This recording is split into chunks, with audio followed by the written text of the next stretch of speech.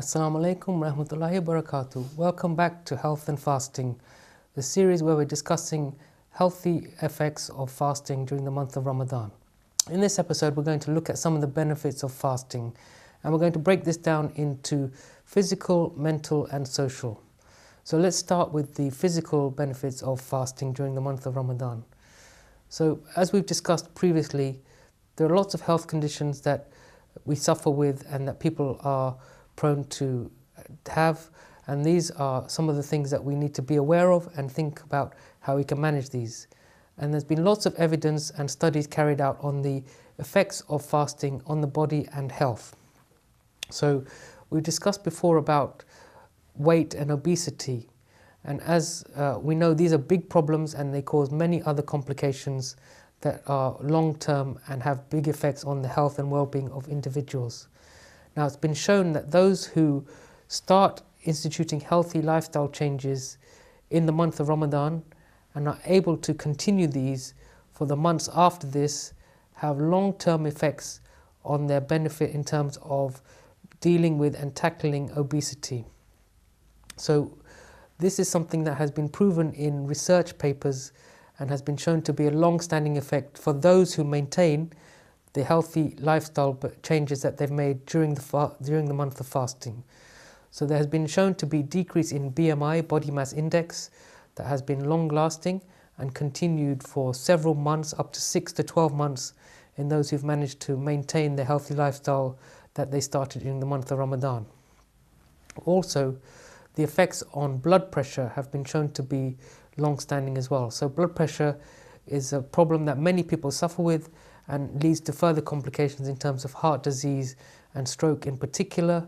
And those who manage to institute healthy changes in their lifestyle during the month of fasting have shown decreases in both systolic and diastolic blood pressure. So, this is when you have your blood pressure measured, you, your GP will give you two values a value, say 120 over 80, and the upper value is the systolic blood pressure, the lower value is the diastolic blood pressure and this relates to when your heart is pumping and relaxing. So there have been shown to be decreases in both systolic and diastolic blood pressure in those who maintain a healthy lifestyle going on from the month of Ramadan and there have been other long-term benefits in terms of decreased incidence of heart disease and stroke as a result of people who have decreased their blood pressure due to the healthy changes that they made during the fasting month. Also, cholesterol is another big issue that leads to many problems and is a, is a really major problem, particularly in our communities, in the Muslim community in Britain. So, high cholesterol again is related with heart disease, stroke, diabetes, lots of major medical problems, but also it leads to things such as fatty liver and obesity. So, these are big problems that are related with cholesterol.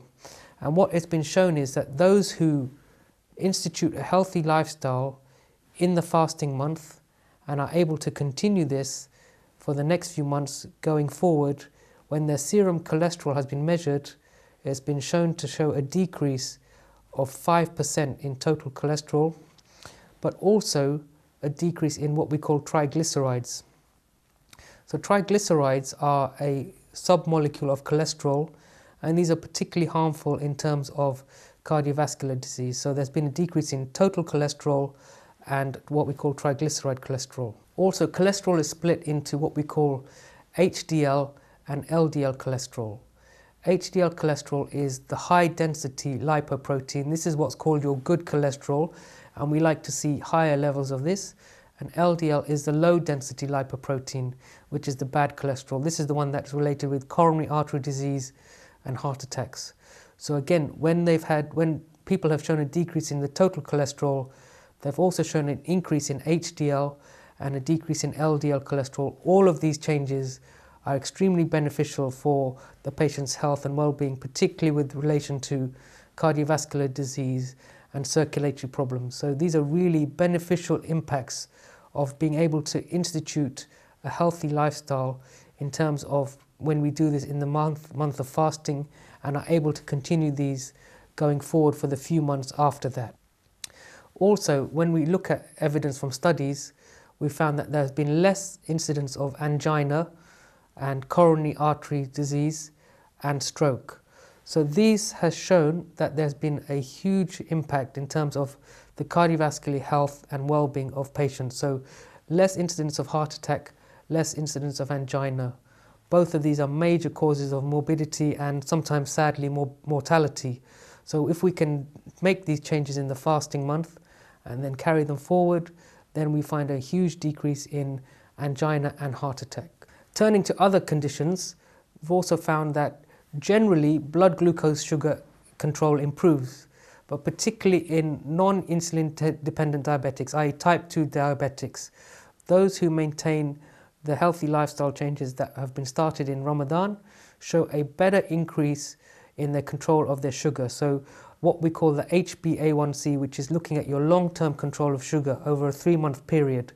When this has been measured in those who have maintained these lifestyle changes as a result of fasting, they have found that there's been a decrease in the HbA1c and then a subsequent improvement in their control of their diabetes. So we've discussed before the impact of diabetes on health and the long-term problems and complications that are associated with this. So a decrease in HbA1c that can be maintained is a huge benefit to the population uh, as a whole and in the individual in particular. So again, um, a huge impact that can be achieved by maintaining the healthy lifestyle that you can institute during the month of Ramadan.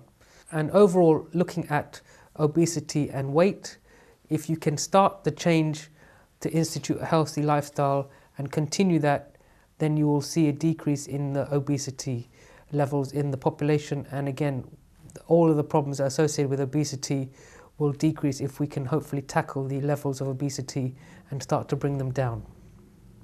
Okay. Turning to mental health problems, there has been a huge evidence in terms of the mental health benefits of fasting. This may sound strange, but what has been shown is that the contact that you have with other people, the communication you have, the time that you spend with your family, all of these things are positive factors in terms of decreasing incidence of depression and anxiety. And depression and anxiety are two major issues that we don't tend to recognize in the Muslim community. We tend to ignore them and brush them under the carpet, but these are really important health issues that need to be considered in the population as a whole, but in the Muslim community in, in particular. But it has been shown that through fasting, the mechanism is not entirely clear, but through the mechanism of fasting, there has been shown to be a decrease in levels of depression and anxiety. And if we can help to tackle these two major problems, then we can improve the overall health and well-being of the population, particularly the Muslim population. And there's been shown to be strong links between physical and mental health. So if someone's mental health improves, then it will have an impact on their physical health they'll feel more energy, they'll feel more levels of satisfaction, they will then start to feel better in themselves, and then physically they'll improve as well. There is no doubt that there is a strong link between physical and mental health, and improvement of one can improve the other. And particularly the other way, where we don't often think about it, improvement in mental health can lead to strong positive improvements in your physical health. So a huge benefit from fasting in terms of improving mental health, particularly depression and anxiety. Now, turning to social benefits of fasting, there has been evidence that the contact that you have with the community, the time that you spend at the mosque, the time that you spend in prayer and contemplation, all of these have huge societal benefits for the population, for you and your family, the Muslim population and the wider population. There, has been there have been studies by the government that show in the UK, the most generous population is the Muslim population in terms of charity and giving to those less well off than themselves and considering needy and worthwhile causes. So this is irrespective of Ramadan. In the UK, the population who gives the most charity is the Muslim community. So this is something that we should be extremely proud of and inform every and all people that the Muslim community is a hugely generous and giving community because nowadays in the media, Muslims are portrayed in a negative light in all avenues. So this thing is a fact that's been proven by government statistics. So there is no doubt that we are a very giving and generous community and we should celebrate that fact and be proud of that fact and, and be sure that we make other people aware of that. So the societal and population benefits from Islamic charity giving are huge. And it's not just Muslim charities who Muslims give to, we give to all sorts of causes. So there's been a huge evidence that charity giving is a huge part of the Muslim ethos, the Muslim way of life, and the Muslim thinking. But in the month of Ramadan, we are even more generous and we give more to more needy causes and more worthwhile institutions. So, this is something that has been shown to be hugely beneficial to the population in the UK and the population worldwide. So, something that we should be extremely proud of and something we should definitely make sure that we do not stop giving and do not stop this generosity and thinking of those less well off than ourselves. Also, the effect of communal prayers and communal dua, communal supplication has found to be extremely uplifting for the society. So, getting together with your family, with your community, whether it's at home or in the mosque or in the center, has been shown to be extremely beneficial for the society. So, levels of general well being and satisfaction in the society increase. And the effect of prayer, we don't know what the effect of prayer is, but the actual physical uh, fact of coming together and offering prayers has been shown to increase societal well-being, societal happiness, and societal satisfaction. So there's a huge impact there in terms of the benefits to your society and your local community. So this is something again we should be extremely proud of. It's not just in terms of giving money, it's in terms of giving time, in terms of giving resources, in terms of giving help. So it's also been shown that in terms of offering time and support to other community members, this is also a really useful and beneficial thing that we can do both for the people that we help and for our own self and well being. So it has been shown that when you give to others, you have a feeling of satisfaction, and this increases your what's called positive hormones. So things like endorphins and such as chemicals such as these, which make you feel better, give you a sense of satisfaction, and improve your own mental health and spiritual well being. So in terms of the benefits of fasting, we've discussed the physical benefits, the mental health benefits, the spiritual benefits, and the societal benefits. And I think this is something that we should never forget. It's not just the, the fact that we're giving up food and drink for a period of 30 days. It's the fact that we do all of these other things and we should try and abstain from all bad acts.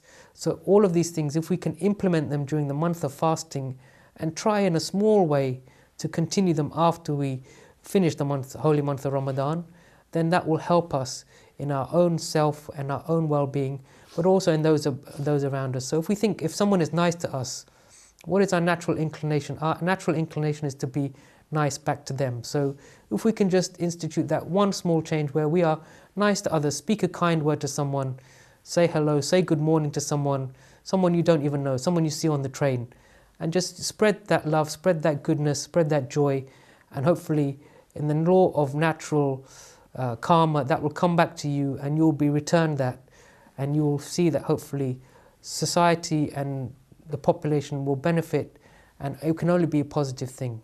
So, I hope that you've learned some useful things during this episode, and I look forward to seeing you again in another episode when we will discuss more aspects of health and fasting. Assalamu alaikum rahmatullahi wa barakatuh.